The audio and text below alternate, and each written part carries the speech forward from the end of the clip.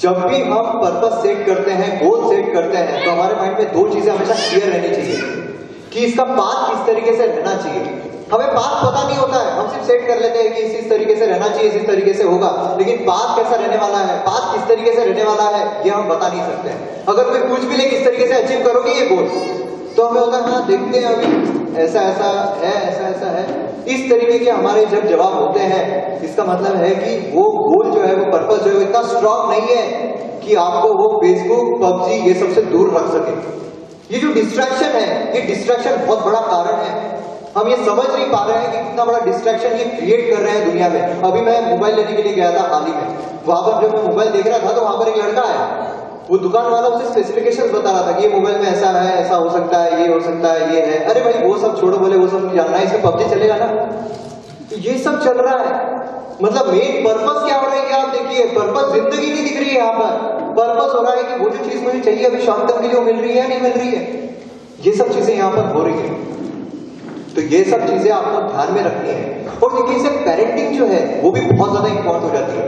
अब पेरेंटिंग कैसे इंपॉर्टेंट है? अब देखिए, अगर मैं आपको यहाँ पर पूछूँ कि साइंस बोलने के बाद आपके दिमाग में क्या आता है तो आप क्या बोलोगे? इंजीनियरिंग मेडिकल यही सारी चीज़ें आपके दिमाग में आएँगी साइंस बोलने के बाद। और फिर मैं अगर आपको पूछूँ कि आप बनना क्या चाहते हो तो आगे ज़्यादा लोग बोलेंगे इंजीनियर डॉक्टर अगर आप साइंस फ़ील्ड में हो तो। ये क्यों? क्योंकि पेरेंट्स ने बोला है कि इसमें जो है वो ज़्यादा स्कोप है। पेरेंट्स को किसने बोला है? तो बाकी के जो मार्केट के लोग हैं, उन्होंने बोला है कि इसमें ज़्यादा स्कोप है। मतलब यहाँ पर क्या है? यहाँ पर पेरेंट की उनकी भी गलती नहीं है। क्योंकि उनके सामने किस तरीके से आ रहा है? तो जो सोसाइटी है, वहाँ से निकल कर आ रहा है कि इंजीनियरिंग जो उसमें ज़्यादा स्कोप है, उनका ही बेटा जो है वो घर पे बैठा हुआ है।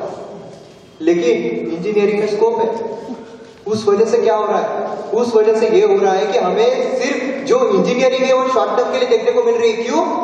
जब आप पूछो कि इंजीनियरिंग क्यों करना है? तो अरे भाई इंजीनियर जो रहता है, वो कभी घर पे बैठता नहीं है। दो वक्त की रोटी तो कमा ही लेता है। देखिए मतलब आपका जो मॉरल है, आपका जो गोल है, आपका जो पर्पस है, वो कहाँ पर लाके खड़ा कर रहे हैं? वो खड़ा करके रख रहे हैं दो वक्त की रोटी पर। मतलब आपको दो वक्त की रोटी मिल जाए, उतना सफिशियंट है। दो वक्त की रोटी आपके पास आ जाए, उतना सफिशियंट है। आपका गोल ही वो क्या है? आपका पर्पस ही वो क्या है कि दो वक्त की रोटी मिलना चाहिए? वो तो अभी मिल रही है आपको। जब आपका पर्पज होगा कि मुझे आईएएस बनना है, मुझे एमपीएससी क्लियर करके जो भी आपको सर्विस चाहिए, वो चाहिए। जब मुझे यहाँ पर देश की सेवा करनी है, जब मुझे यहाँ पर देश के लिए कुछ करना है, तब वहाँ पर क्या होगा? उसके लिए ज़रूरी क्या है? उसके लिए ज़रूरी है कि जो भी मेरी इंजीनियरिंग है, वो मैं कंप्लीट कर लूँ। क्योंकि इंजीनियरिंग का नॉलेज जो है, मुझे अपने सब्जेक्ट में काम आ सकता है। मुझे जो भी मैं आर्ट्स बैकग्राउंड लेता हूँ तो उसका जो सिलेबस है उसका जो सब्जेक्ट है वो मुझे एमपीएससी या यूपीएससी में काम आ सकते हैं। ऑप्शनल सब्जेक्ट जो है मैं वो सब्जेक्ट ले सकता हूँ हिस्ट्री हो जोग्राफी हो पॉलिटिकल साइंस हो वो ले सकता हूँ। तो यहाँ आपको पर्पज मिल रहा है। यहाँ आप क्या करोगे?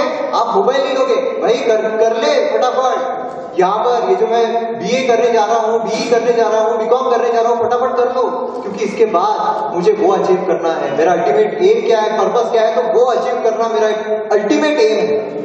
तो यहाँ आपको पर्पस मिलेगा, यहाँ आपको विजन मिलेगा, यहाँ आपको गोल मिलेगा। नहीं तो चल क्या रहा है यहाँ पर? हम सोसाइटी के हिसाब से चल रहे हैं। मतलब क्या होता है कि आपने अगर, अब यहाँ पर मैं बता रहा हूँ आपको, आप घर पे जाके ट्रायल कर लो। मतलब जब भी आप आपके पड़ोसी से या किसी से भी मिलते हो, बाहर के किसी इंसान से मिलते हो, उनके सामने, घर वाले भी वहाँ पर होना चाहिए, उनके सामने आप बोलो कि मेरा टारगेट है कि मैं पाँच सालों में पचास करोड़ जो है उतना एम्पायर खड़ा कर लूँगा। पहली रिएक्शन क्या होगा? हंसेंगे सब भाई पचास करोड़ की बात कर रहा है ये। भाई पहले देख ले कैसा मार्केट कर रहा है, क्या कर रहा है।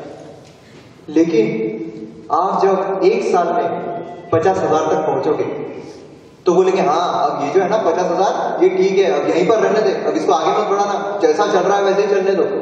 लेकिन नहीं, आपका पर्पस है, आपका गोल है, आपका एम है, वो बहुत स्ट्रांग है, वो आपको कहीं से डिफ्लेक्ट नहीं होने दे रहा है। आप पचास हज़ार से पाँच लाख तक पहुँचे तो वो क्या बोलेंगे? हाँ चलो, थोड़ा बहुत हो रहा है, थोड़ा बहुत चल रहा है, थोड़ा बहुत कर रहा है। फिर आप पाँच लाख से पाँच करोड़ पर पहुंचोगे, फिर और आएगा कि बस अब यहाँ पर रुक मतलब देखिए, इतना बढ़ने के बाद भी आपको रोकने वाले कितने मिलने वाले हैं, कि अब यहीं पर रुक जा। अब यहाँ पर मैं ये नहीं बोल रहा कि उनकी भी गलती है, क्योंकि वो ये सोच रहे हैं कि ज़्यादा रिस्क में और ये पीछे ना आ जाए। लेकिन हमारा पर्पस हमारा एम हमारा गोल ये हमको आगे बढ़ाता ही है। पर्पस स्ट्रांग होना चाहिए, जो मैंने बोला था, आग रहनी चाहिए अंदर। तब आपको कोई भी कुछ भी अचीव करने से नहीं रोक सकता है। पाँच करोड़ तक पहुँचे, फिर जब आप पचास करोड़ पर पहुँच जाओगे, चार साल में, पाँच साल में पचास करोड़ पर पहुँच जाओगे, उसके बाद जो ये बोल रहे थे कि हंस रहे थे आप पर, कि इससे क्या होगा? इससे तो नहीं होने वाला, इससे तो कुछ भी नहीं होने वाला है। ये जो लोग हंस रहे थे अब क्या करेंगे? अब बोलेंगे, अरे नहीं, मेरे को तो भरोसा था इस पर। मेरे को तो भरोसा है कुछ ना कुछ अपनी ज़िंदगी में कर दिखाएगा इस तरीके से आपकी जो थिंकिंग है वो बदल जाएगी। मतलब आप देखिए, जो सोसाइटी के लोग दो सेकंड में अपने थॉट्स अपने व्यूज़ बदल रहे हैं, उनके लिए आप अपना एम अपना ड्रीम अपना गोल बदल रहे हो।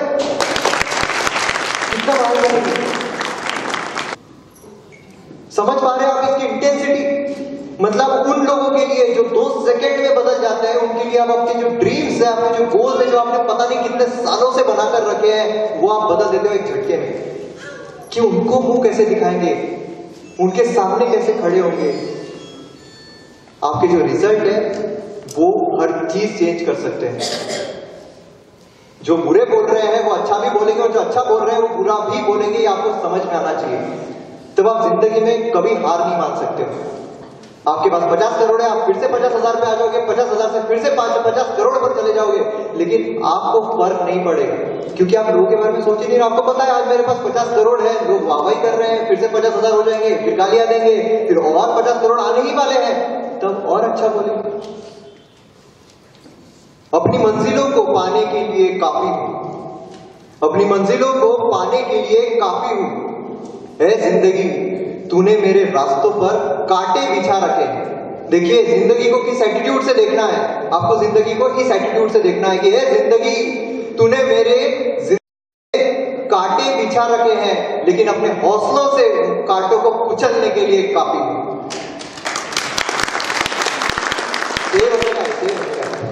और आगे भी है। ख्वाबों में मेरे सपनों पर हंसने वालों। ये उन सब लोगों के लिए है जो आपके ड्रीम्स पर कभी ना कभी हंसे होंगे, जो आपके ड्रीम्स का मज़ाक उड़ाए होंगे। उन सब के लिए जवाब है।